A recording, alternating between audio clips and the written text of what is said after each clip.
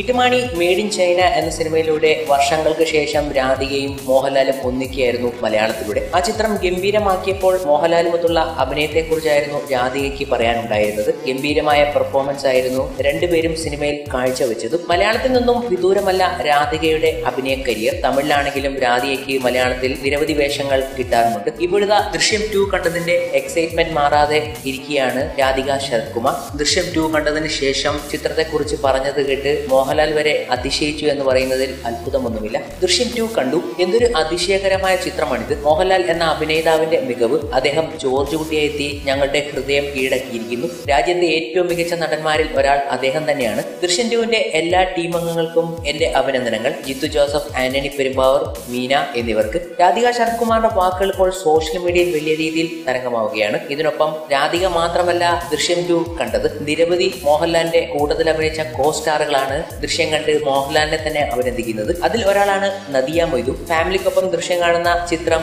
സാമൂഹ്യ മാധ്യമങ്ങളിൽ Nadia post ചെയ്തിട്ടുണ്ട്. മലയാളത്തിൽ നിന്നും മികച്ച അഭിപ്രായം ദൃശ്യം ടൂവിന് ലഭിക്കുമ്പോൾ അതിൽ കൂടുതൽ അഭിപ്രായങ്ങളാണ് ബോളിവുഡിലും കോളിവുഡിലും ടോളിവുഡിലും നിന്നും ഒക്കെ ലഭിക്കുന്നത്. ഇതിനോടകം മറ്റ് ഇൻഡസ്ട്രിയിലുള്ള ആരാധകരാണ് ഏറ്റവും കൂടുതൽ നല്ല അഭിപ്രായങ്ങൾ ഇപ്പോൾ പറഞ്ഞു തുടങ്ങിക്കൊണ്ടിരിക്കുന്നത്. അവർ ആദ്യം എല്ലാവരോടും ചോദിക്കുകയുണ്ടായി എങ്ങനെയുണ്ട് ദൃശ്യം ടു എന്നത്? അതിന് കമന്റുകളായി നിരവധി മലയാളികളും അല്ലാത്തവരും പറഞ്ഞു ഈ സിനിമ മസ്റ്റ് വാച്ച് ആണെന്ന് അങ്ങനെ എല്ലാവരും കണ്ടിരിക്കുകയാണ്. അവരുടെ അഭിപ്രായങ്ങൾ കൊണ്ട് നിറയുകയാണ് സോഷ്യൽ മീഡിയ ഇപ്പോൾ. കൂടാതെ അവർക്ക് വലിയ രീതിയിലുള്ള ജിജ്ഞാസയും ഉണ്ടായിരിക്കുന്നു. ദൃശ്യം ടു പോലൊരു സിനിമ തമിഴിലേക്ക് വരുമ്പോൾ പുലക നായകൻ നായകനായി എത്തുമ്പോൾ കൂട്ടത്തിൽ ഗൗതമി അഭിനയിക്കുമോ എന്നത് അങ്ങനെ പല സംശയങ്ങളും ഇപ്പോൾ ഉയർന്നുകൊണ്ടിരിക്കുകയാണ്. പല റീമേക്കുകളുമായി ബന്ധപ്പെട്ട്.